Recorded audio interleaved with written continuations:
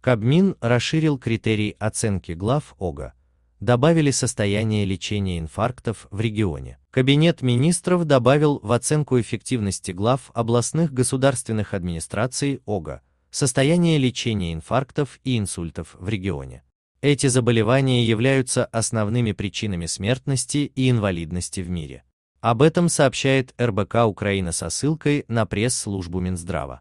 Решение о включении показателей лечения инфарктов и инсультов в ключевые показатели эффективности глав местных государственных администраций принято на заседании правительства 4 августа, сообщили в ведомстве.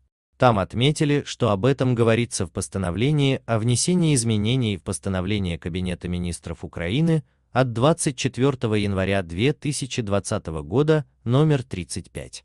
Министр здравоохранения Виктор Лешков в свою очередь подчеркнул, что сердечно-сосудистые заболевания – основные причины смертности и инвалидности в мире.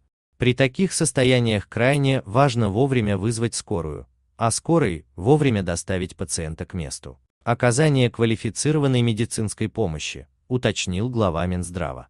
По его словам, правильно разработанный маршрут доставки пациента спасает жизни, а разработка и соблюдение этих маршрутов – ответственность местных департаментов здравоохранения.